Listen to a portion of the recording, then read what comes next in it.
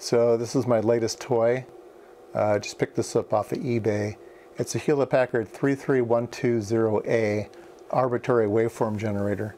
Uh, it's good up to 15 megahertz. Um, it acts like a, a normal generator, um, you know, sine wave, square wave, that, that kind of thing. It also has a sweep capability that I was interested in, and it also has an arbitrary function, so you can have arbitrary waveforms, and uh, I'll, I'll give a demonstration of that. So uh, let's just come up here. I've got a Rigol hooked up. They both have fans, so it's going to be a little noisy in the audio today, but um, so you can change the uh, change the frequency. It's got a, a an encoder knob. Uh, you can also type in the number. Uh, it's got lots of digits. Uh, it'll do square waves, uh, triangle waves, uh, sawtooth. It also has the ability to do modulation. we can turn on, and you can see that we're modulating the signal here. And we can change the modulation depth, changing the level. That's 100% modulation, 50% modulation. Can even overmodulate 120%. That's kind of cool. Uh, we can turn that off. Uh, we can do FM modulation. We can do FSK. That's kind of cool. That's be good to look at. FSK is where you have uh, um, two different frequencies. Uh, one frequency, let's say, uh, represents a zero, and the other frequency represents a one. And so you can send these bursts. So this is how the original uh, cassette tape interface worked. It encoded the uh, coded the signal into into two different tones. I think they were 1200 hertz and uh, uh, 2400 hertz. Um, one being a zero, one being a one. the Tarbell interface. Um, anyway, uh, you can see here that we have bursts of high frequency and low frequency. Uh, so that's kind of fun. Uh, we can do um, we can do noise. Uh, noise is noise is really cool. No matter what no matter what speed you you go at, you get noise. It's always in there. And then the arbitrary uh, functions uh, we can do a sync pulse. Uh, so let's see if I can trigger on this correctly. Uh, I'm doing. I'm still doing FSK. I need to turn off FSK. There we go. So we're uh, generating these these nice sync pulses. Um, and then you can do really strange things. Uh, it has several um, arbitrary waveforms programmed in. You can program in your own uh, arbitrary waveforms. Uh, I think it's got places for four different uh, user waveforms, uh, up to 16,000 uh, bytes long, and each byte is 12 bits. So it's a 12-bit A to D. Uh, the arbitrary list. The other, the other favorite of mine is cardiac. Oops, I pushed the wrong button. I pushed the wrong button. Uh, sync. Cardiac, that button there. There we go. And it gives, uh, gives actual heart waveforms. Uh, that's kind of cool. I think they were just showing off saying that, hey, you can put it in any, any arbitrary waveform you want. So I think it's going to be real useful. I like the instrument. It looks brand new. I mean, it's it's really, really, really pristine. It's a very nice, very nice instrument. So here we have the um, uh, sync uh, signal coming into channel 3, and I'm triggering on channel 3. So I have a nice stable display. So I have a start, uh, start of sweep um, synchronized and here you can see uh, different sweeps. I'm going to have it so that just one sweep is fills up the screen. So we go from one hertz to a megahertz in logarithmic. So we have one hertz, 10 hertz, 100 hertz, 1,000 hertz, 10,000 hertz, 100,000 hertz, 1 megahertz. So every two division is a decade.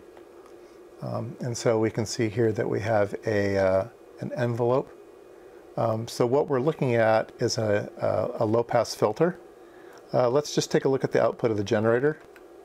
So the output of the generator is uh, constant in amplitude um, from 1 hertz to a megahertz, um, approximately. A little bit of variation in there.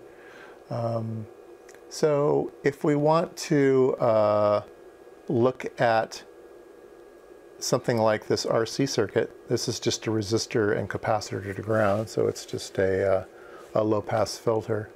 Um, we can kind of see the shape. If we want to see that a little bit better, uh, we can go into display and we can set our persistence of our display to infinite.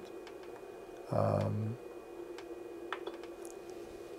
so now it will, it will build up an image. We'll need to change the intensity of that up to something reasonable, let's say uh, 70%, 70, 71%. So it gives us a nice, a nice picture of the Bode plot of the low pass filter. Um, if I take off our signal, it remembers it because it's, it's infinite persistence. Um, and if I uh, bypass the uh, filter and go to uh, go to the output, we can see that we have a uh, um, there's no roll off here. This does seem a little bit of roll off. It might be the scope probe.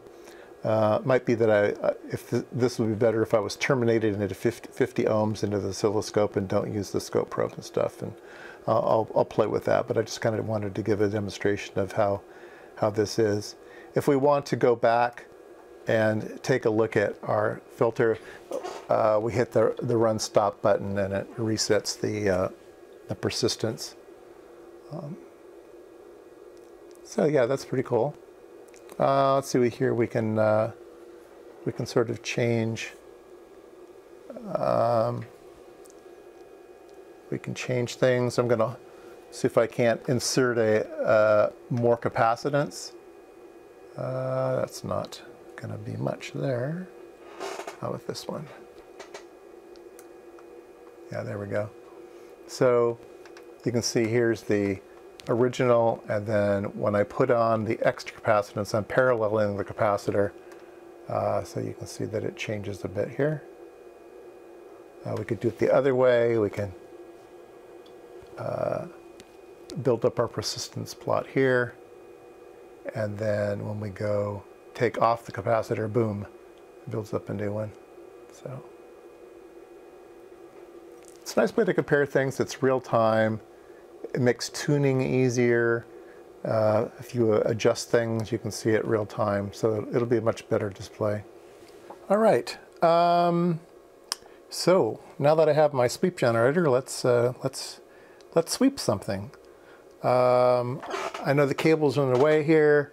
Uh, the uh, function generator is set up to sweep from 1 hertz to 1 megahertz uh, logarithmically. And the amplitude is set here. If you can see that, it's actually 100 millivolts, um, 100 millivolts peak to peak. And the thing that we're going to test is my audio buddy. Uh, remember um, that channel 2 is the original um, circuit Channel 1 is the circuit that I've uh, hacked to be the INA uh, 217, which I believe is much, much better. So what we're doing now is we're sweeping channel 2. And this is what we get. And I have an awful shine from the door. All right, uh, here's a sweep of um, channel 2, which is the original circuit.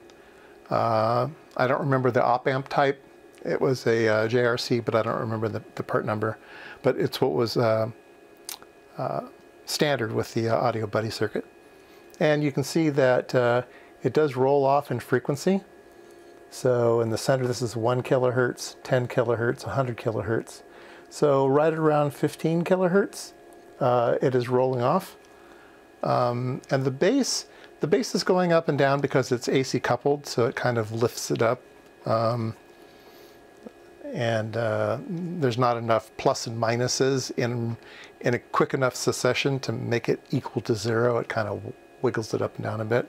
If you had a larger capacitor, it probably wouldn't do that. But anyway, um, I think you can see that it kind of gets a little bit larger if you just take a look at the excursion of these. Uh, there's a little bit more gain out in the bass than there is up here in the treble. Just a tiny bit. And it does roll off. So um, let's go ahead and try channel one. So I'm moving the generator over to channel one and the scope over to channel, channel one. And there we go. And I think you can see right away that the roll off is way higher in frequency and it also doesn't roll off like a normal curve. It stays very, very flat and rolls off sharply. So uh, this is the 100 kilohertz section. So this thing stays flat out to about 120 kilohertz before it, rolls off, and then it rolls off very quickly. Um, and I think you can see that it's straighter lines that it keeps its gain product uh, constant over, over the entire range. It, there's not a bass boost in this thing. Um, and let's see if we can't capture this as a reference signal. Um, so there I have the reference signal. And then let's move back to channel, channel 2. There we go.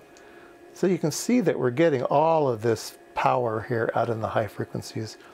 And you might ask, well, why do I need that? I can't hear that. I can't hear 100 kilohertz. Um, it's the same argument that people make about why do I need 100 watts in my stereo amplifier if I'm only going to use 4 watts to drive my speaker.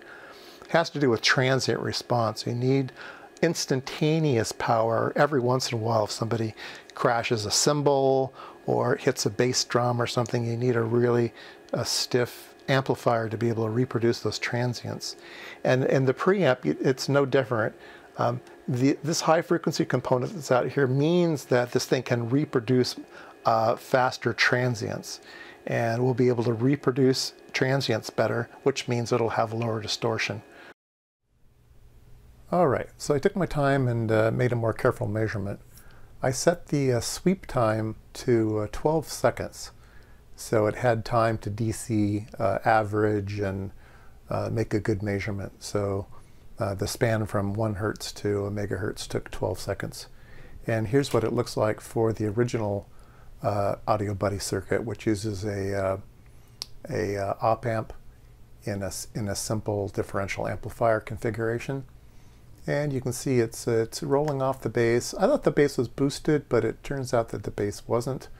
Um, the bass actually drops off, um, and so it gets rid of some of the lower bass looks like it's starting to drop off just around 100 hertz and, and it's rolled off uh, quite a bit. And then the high end rolls off pretty quickly. It seems like it's starting to roll off around 15, 20K, maybe 15K. And uh, so that's what the, uh, that's what the uh, plot looks like for the original circuit. Here's the plot for the INA uh, 217 and you can see it's much flatter, uh, much more well behaved. Uh, the bass section goes much lower. The bass section doesn't start roll off, start, doesn't start rolling off until maybe 20 hertz, so it runs down much much farther. Um, so uh, the bass is running around 20 hertz. It's still operable around 10 hertz.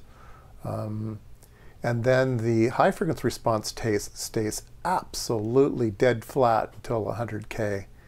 Um, and uh, even runs pretty far above 100K. So that definitely will help with transient response.